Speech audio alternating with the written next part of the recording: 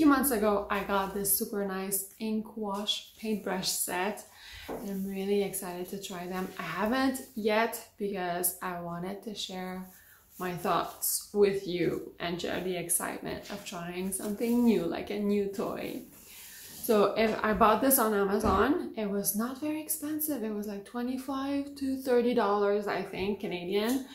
And if ever you're interested in checking it out, you have to search for Chinese calligraphy brush set or Sumi brush set. These brushes are really unique.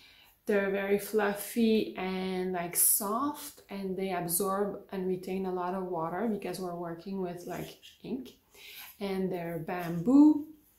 I really like the, the way, the randomness of the washes on paper. I'm not trying to control uh, to control it at all. I'm gonna be using watercolor paper, of course, and I'm gonna do expressive florals. You've probably, you might have seen me do that before. I just want to make more of them because they feel very calming to create, but also calming to look at. All the different shades of gray.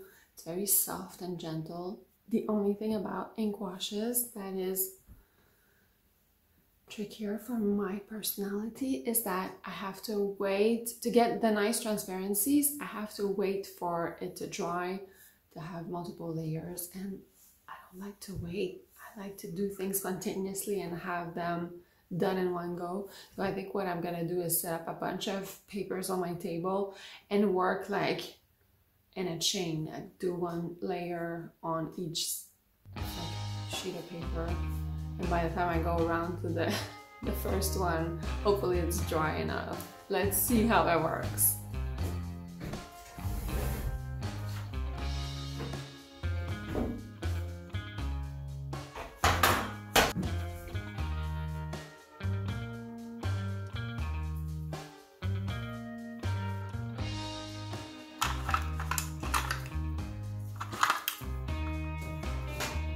From past experience, I know that I create a lot of puddles of ink the way I do it in on my paper and it takes a long while to dry like towards the end. So once I'm done with a painting if I need to move it I want to have like a firm surface to put it on and to carry it.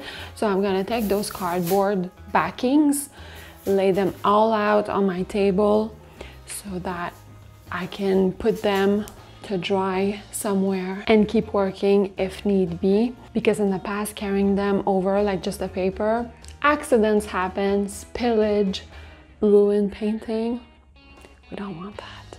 And although this case is so beautiful I'm gonna take the brushes out and put them like in a jar so that I can not damage this too much or dirty too much and it takes a lot of space on the table.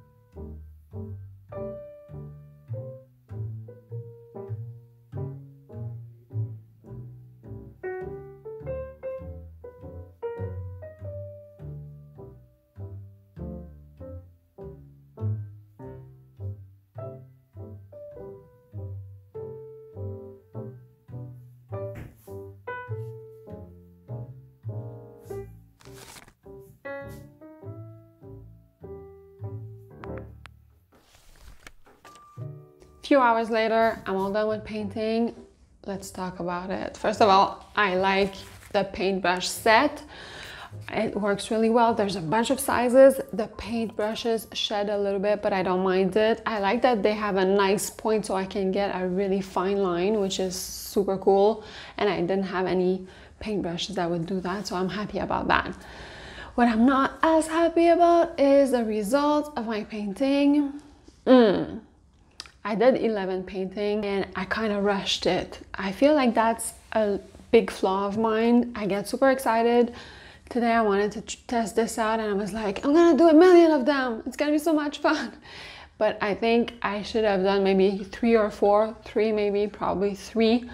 And instead of telling myself I'm gonna do this a whole bunch in one session, it's gonna be great, to do three in maybe two sessions and waiting longer to like put in more details, but especially to let the first layer and second layer and third layer dry in between because what I love about ink is the transparencies, seeing layers on top of layers and those transparencies and starting very light, like barely a hint of gray, and then building up the dark values on top of it.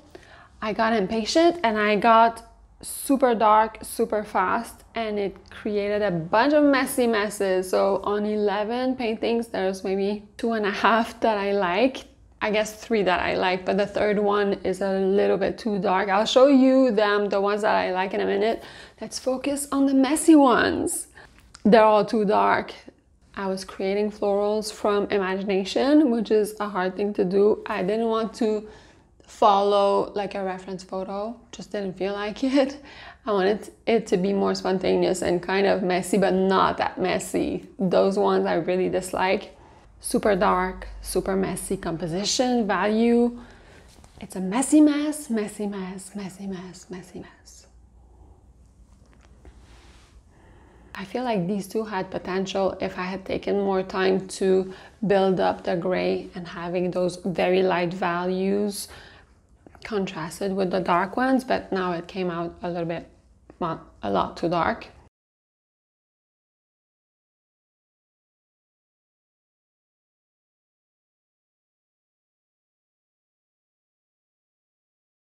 But these two paintings I feel are the most successful. One of them is a bit darker, but because the composition is minimal, I really like it.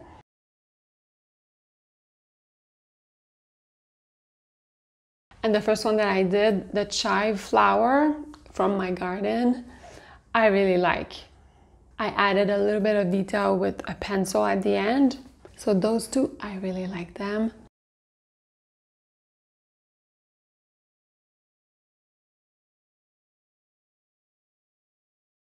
Some days things come together, some days it doesn't. And this is not a rare occurrence, if ever you're wondering. For me, there's a lot of failure. Like the ratio on a good day, if I do multiple paintings and I'm kind of exploring, on a really good day, I would say it would be half crap, half good. on a bad day, nothing is to my liking, and those happen regularly where I paint like a whole bunch of things and nothing. Oh, you know what? Let me show you something that I did.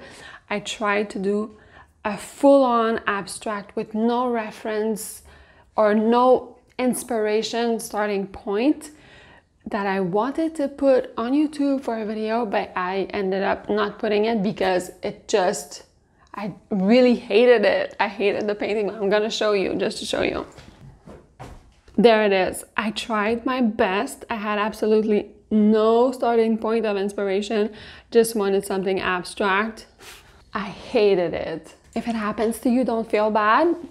It happens to everyone. And I'm talking about explorations. If I were trying to render something from a, a reference photo and really like taking my time to observe the lines, the values, the colors, I could pretty much 80% of the time get something good enough because I'm essentially not copying, but like I have a full on reference.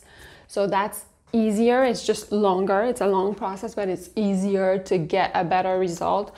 But when it's exploration, trying something new from imagination, the ratio is not super high of success. But it's so much fun to explore and try things that I don't mind. Like, honestly, sometimes I, I do mind because it's discouraging, but I'm not gonna stop doing it even if there's a higher percentage of wasted paper. not time because it's not wasted time, it's maybe wasted art supplies, but it's okay. By the way, if you like the video and you're still here, thank you so much. Hit the bell for notification. It really helps my channel. And what I would like to do with those florals in the next few weeks is to transform one into a t-shirt for myself. I might put it on my Etsy shop if it turns out nice, but that's not the point. The point is that I want to turn one of my painting into a t-shirt. I think it would be fun. I'm gonna make a video about it. The whole process of like transforming a painting into a design and designing a t-shirt and also receiving the t-shirt, trying it on. I wanna vlog the whole process. So I'm gonna get a video together from painting to wearing the t-shirt. I might even do a hoodie because I have another painting. One of my favorite paintings that I've ever done. I think I'd like to have it as a hoodie. Anyways, enough rambling. I'll see you in just a few days for another one. Thank you so much for watching.